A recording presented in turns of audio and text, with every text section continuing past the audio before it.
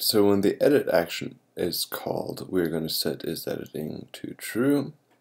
And when the done editing action is called, we're going to set it to false. So the controller is in charge of keeping track of the state of the current page. And so now to our post template so that when we are viewing a post we can um, toggle in between editing and not editing. I'm just going to shove this guy at the top for demonstration purposes. Um, if is editing, so this is talking to the controller, and in general you can just talk to the controller as if it is your model, um, but you can also access additional state that is stored by the controller. We're going to render a partial called post edit. Um, then I'm going to render a button which is bound to the action done editing. So in other words, when you click this done button, the done editing action will be called in your controller. And when you click, so for not editing, which is by default, um, is editing false. So this will show up first. Um, we'll have an edit button which is bound to the action edit.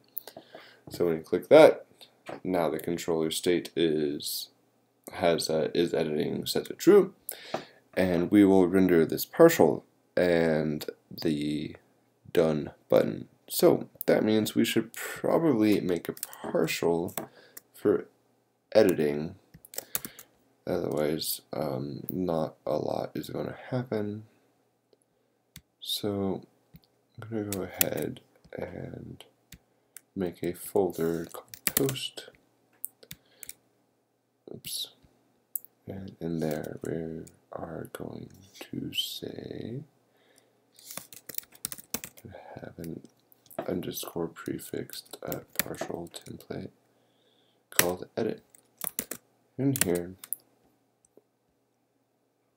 we're going to use some handlebars helpers to use some magical uh, inputs and text areas. So this is very much like you'd see in HTML, except using the handlebar helper helpers. These will be bound to the actual model that we're dealing with, and it'll be beautiful. So let's go see if this works. It's looking bad. Let's go see what broke. Oh, unexpected identifier. Alright, post.js. The controller.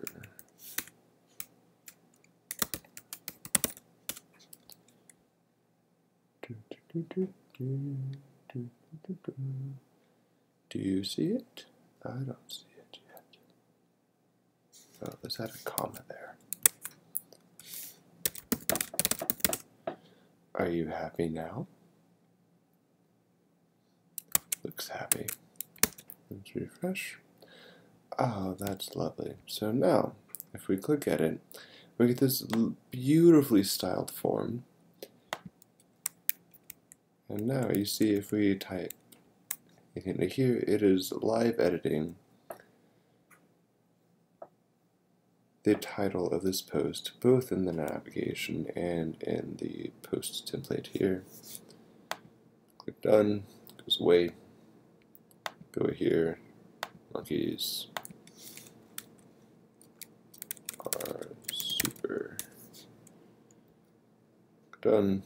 Alright, so you see those edits uh, apply both there. Of course, if you refresh, they're gone because it's not persisted anywhere. Okay, so now pretty much every web application has to do with dates. So we are going to now add a date to our post template. Down here. So let's just show this guy here.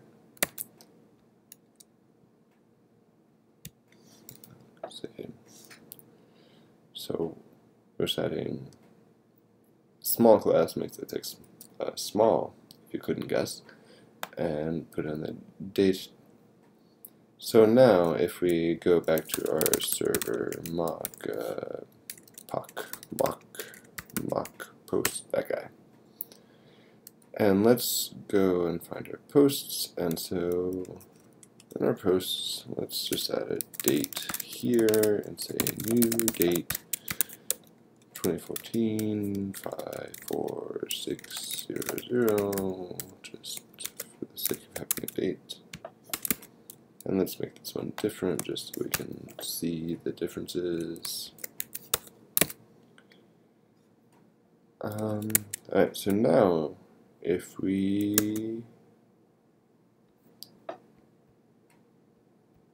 view this post, we should see um, the date there.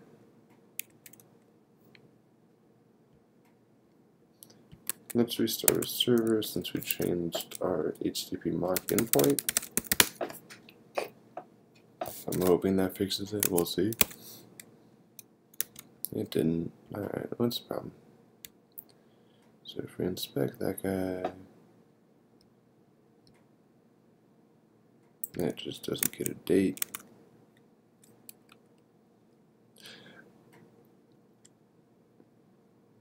Oh, uh, we need to go update our model. Because right now our model is throwing away any attributes that we don't define. Okay, so model post. Hey buddy, you've got a date, and you're of type date. Super, now we get our very computery formatted timestamp. So, we would like that to not look like that, I would assume. I mean, you don't want to show your users that, right? So the next thing, lost my uh, text editor. Let's bring it back.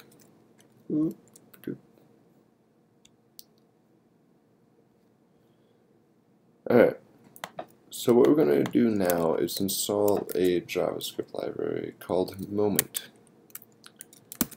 So I use npm to install Moment there.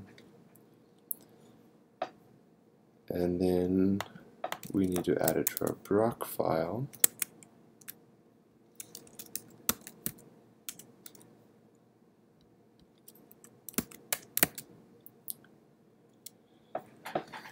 And the next thing we're going to do is add our own custom uh, handlebars helper. So, we're going to go into app helpers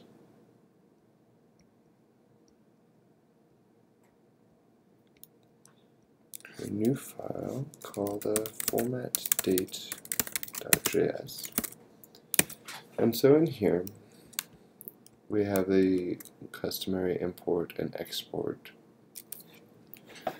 statements. And so in here we're going to say ember.handlebars make bound helper and then pass that a function which takes in the date and then uses moment to uh, format it to be a string that says hey this is so long ago essentially or from now. I guess it works in the future too. Who knows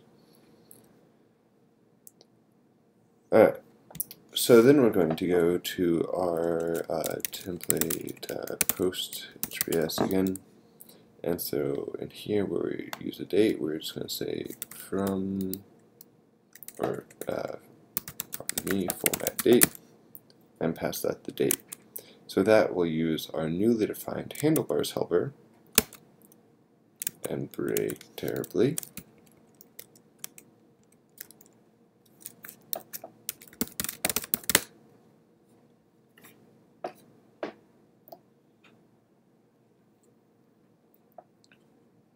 Alright, seems like our npm install didn't actually save our moment.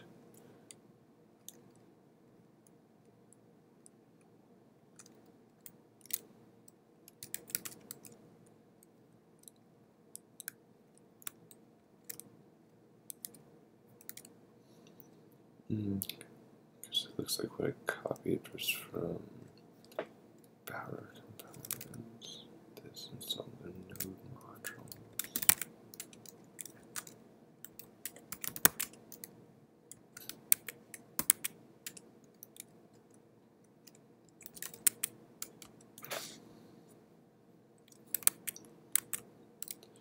Alright, so again shows the loveliness of using the Brocfile where you need the specific uh, path to the thing that you are asking it to compile for you, or to pre-compile for you. Alright, so let's try reserve again. It's still mad. Why you so mad? That should have worked, I would have thought.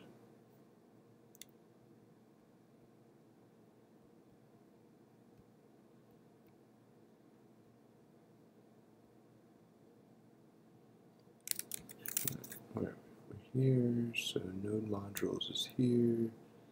We should see a moment in here. Min moment dot min dot js. That sure seems like it should be there. Um. Well, I give up on that and say, hey, let's try just installing directly with Bower.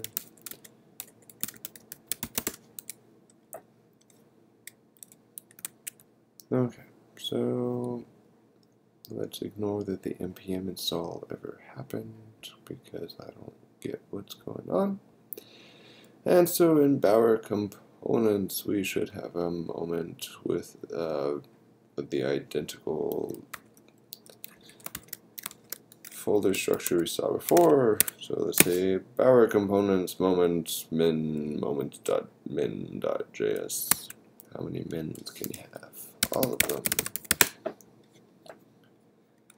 Try that guy again. Beautiful. So now instead of the very explicit and verbose uh, timestamp, we now see three months ago. And this guy should have a different one, seven months ago. Lovely.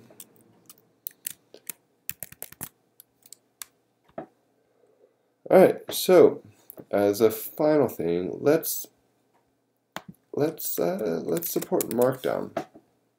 So if our post body supports Markdown, it would be nice if we could say like uh, controversial and it became italic, right?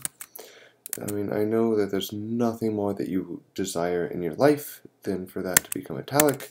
So let us make it so.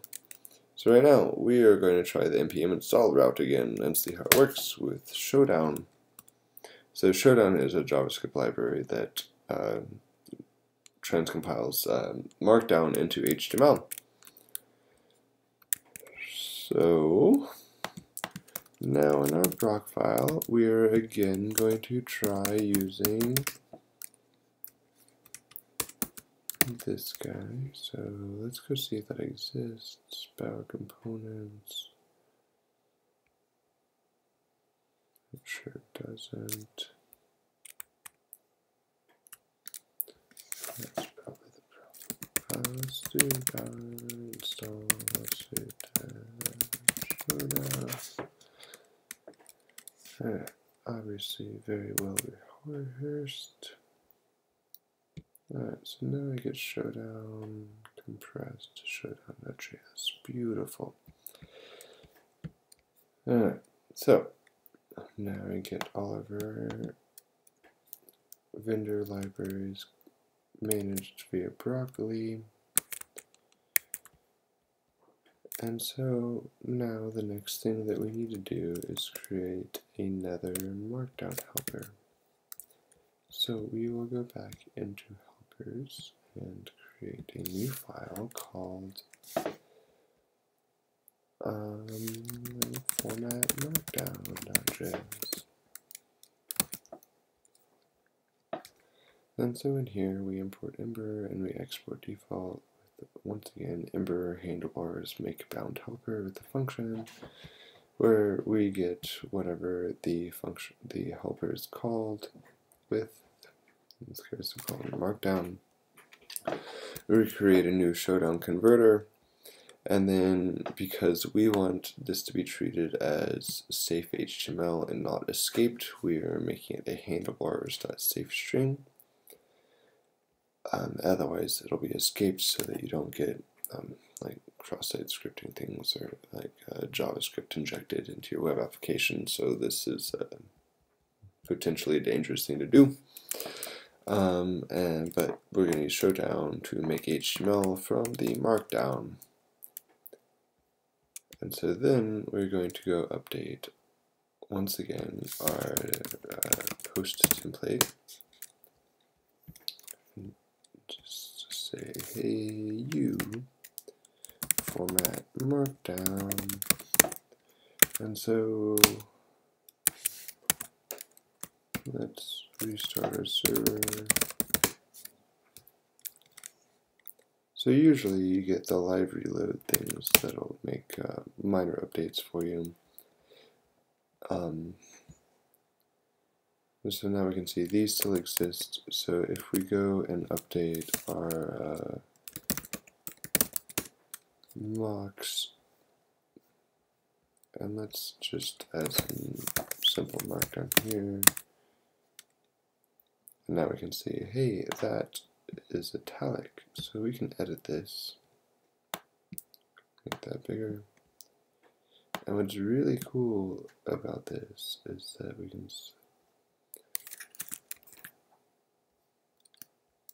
we can uh,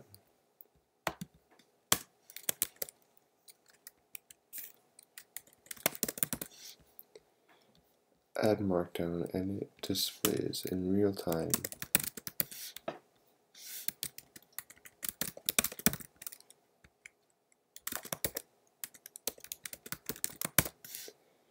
as we type it.